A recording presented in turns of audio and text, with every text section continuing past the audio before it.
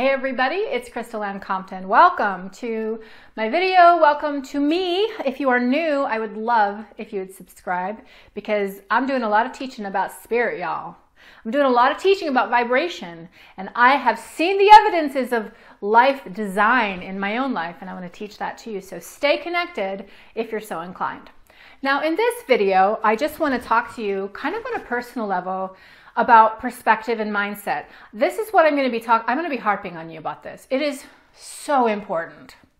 The, the filter through which you experience life has to be intentional. It has to be deliberate. You have to know what you're thinking, know what you're observing, know what you're experiencing and doing if you want to be spiritually, dynamically connected. That's how it works. If you want to up level, switch your life, you got to know about your mindset and how you're thinking about things and what you're working with in terms of energy. And so I want to use a personal example here just to show you how it works for me. Last summer, my husband and I decided that we were going to go buy eight hens from a local North Texas rancher. And these are just Texas hens. They're not like special breeds or anything. They're just, they're so cute. And I love eggs. We had hens before when we were in Colorado and we did well. So I thought, well, sort of. There was the great chicken apocalypse of 2015, but we won't talk about that. So I just wanted more hens. And so we went and we picked them out and I just like just looked at the the coloring and how sweet they were and flopping around. Oh my god, I'm getting carried away. And we chose eight and we brought them home and we set up their little coop, their little palace. My husband like made little swings for them. It was so adorable.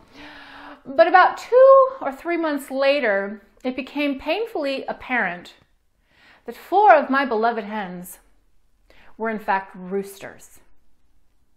I learned of this because one night at about 2 a.m., I started to hear them crow.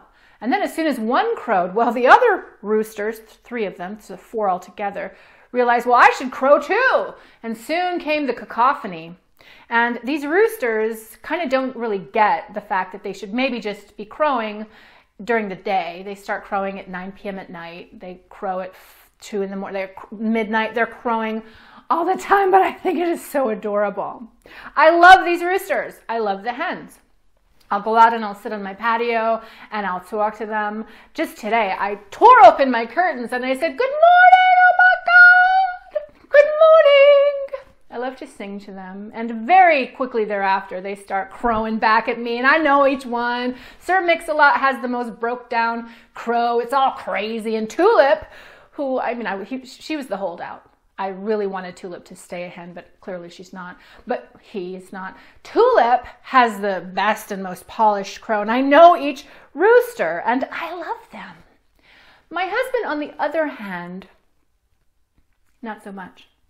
My husband, for a while now, has been advocating for chicken stock. He wants to, well, I guess he wants to kill Tulip. I don't know what. The, he's experiencing them in a much different way.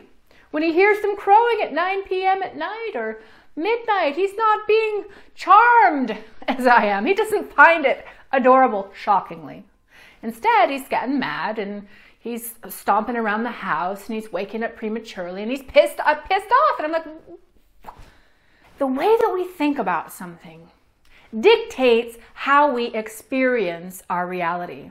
And whereas I am in love with these roosters and think they're awesome and they bring me joy, they aggravate the heck out of my husband. And it's the same thing with life generally. We choose ultimately how we feel about something that's happening in our life.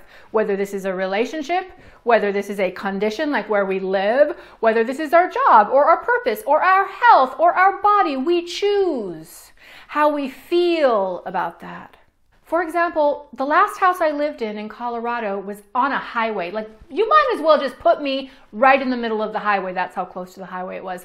Drove me bananas as a spiritual person, having all this crazy energy. And for the most part, I was unhappy there until I realized that it was about how I viewed the house it was about what the house was doing for me. It was about changing my mindset and getting grateful that I even had a house, that I had shelter, that I was warm. And when I decided, because I have the choice, when I decided to change how I felt about the house, my entire experience in the house changed as well. Absolutely and very quickly up leveled into a vibration of happiness and contentment. But I was the author of that. It was based on what I chose to feel. And so I wanted to share these somewhat mundane examples out of my life with you so that you can hook into how reality actually works and how you truly control that which you experience and further that which you call into your life. You're in the driver's seat. You're the one who's sovereign in your life. So start today to work with what you're choosing and what you're feeling. Choose to see the silver lining. Choose to see the good in people. Choose to see and experience happiness in your life. And if for some reason you're looking for a rooster, well, I've got four. Give me a call. I won't give them to you though, because I love my roosters.